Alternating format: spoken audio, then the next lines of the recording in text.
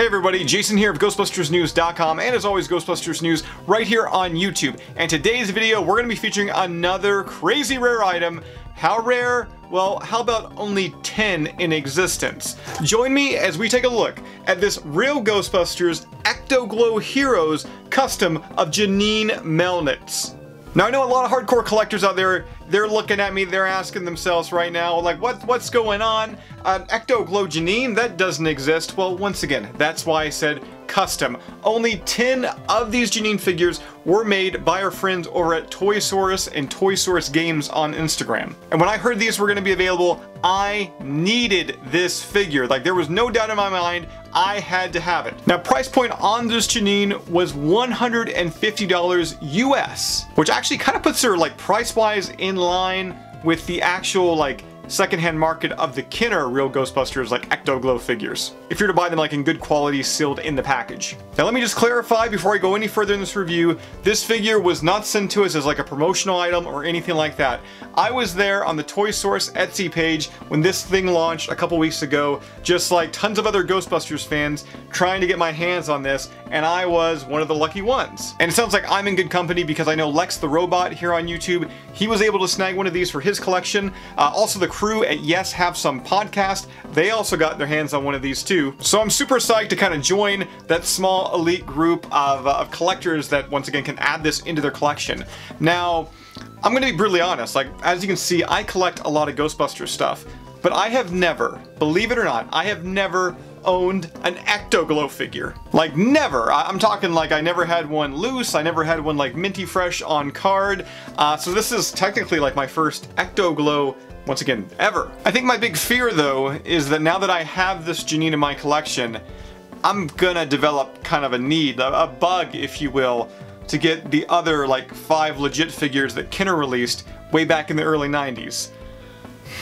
I may have to spend some money. But hey, before I go out and decide to financially cripple myself on 30-year-old real Ghostbusters glow-in-the-dark action figures, let's take a look at this custom Janine. Now this figure is packaged in a Toy Shield custom container, and at first glance, I think you're gonna agree with me here, this thing like looks legit, like it looks like an official Kenner action figure from the early 90s. Taking a look at the art first, of course we got the Who You Gonna Call, Real Ghostbusters, Ectoglow Heroes, like all the font looks like to the T accurate and perfect. And then of course they also went out and they actually got this custom piece of art made. And this art was made by Jammer Lea, once again over on Instagram. We got a link to their profile down below in the description. And it depicts Janine busting the gruesome twosome ghost. Now before we take a closer look at the figure, let's take a second and admire the level of detail on the back of the box here. It has been beautifully recreated here with the Ectoglow instructions up top, showcasing Peter Venkman busting the Spider Ghost, which was actually the exact same design used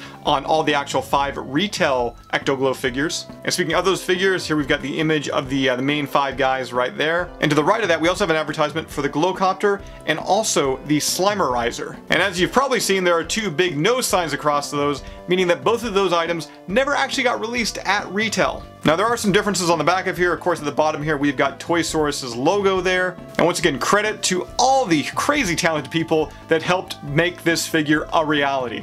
Now let's focus in on the actual figure inside the packaging. And once again, the level of quality here, I mean this looks like, I know I've already said it, a legit Kenner product. Above and beyond, I mean, this is a thing of beauty. And I love the decisions with the paint app here on the actual flight suit. We got the funky and fun neon and orange kind of stripe design going around. And also her name, Janine, going down the left leg. And when it comes to accessories, Janine does come with her face mask.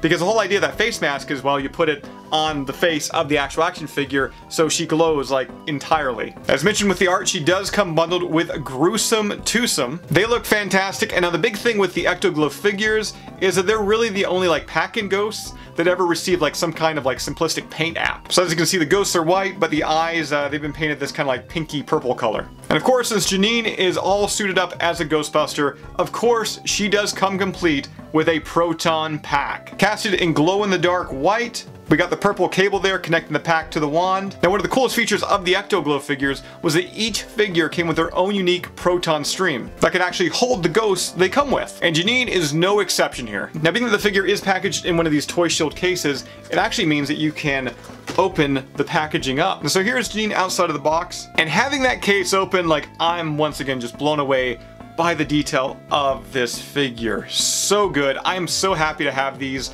Um, once again, only 10 of these made.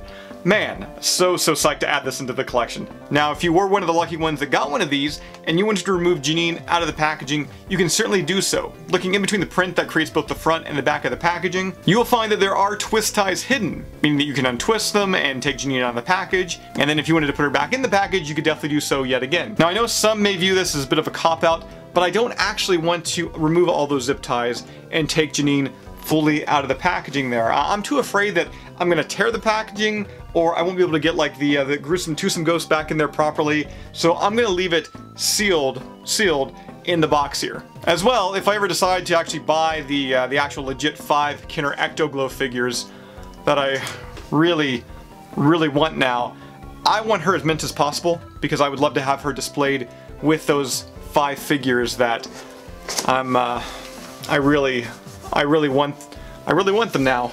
Ah, Janine, you've created an itch, an itch I need to scratch. But once again, before I possibly commit financial suicide and order all those Ectoglow figures, um, let's uh, let's let's end off this video with showing you Janine glowing in the dark because I mean that's her gimmick. She is like an Ectoglow figure. And once again, blown away above and beyond here. Whatever they've casted her in works perfectly. She's so bright, she's so vibrant. Every little piece to like the figure, to the mask, to the ghost, to the proton pack, everything pops so, so good here. It shouldn't come as no secret that I am absolutely in love with this figure. I think it was so worth the $150 US price point. Um, like I said, really the only drawback right now is I do have that itch to go on eBay and and buy the rest of the line. I mean, I don't I don't need them, right? As a collector, I, I don't need the Ectoglow figures. Like, I collect real Ghostbusters. I don't need them, right? Right? No. I don't... I don't need the Ectoglow figures.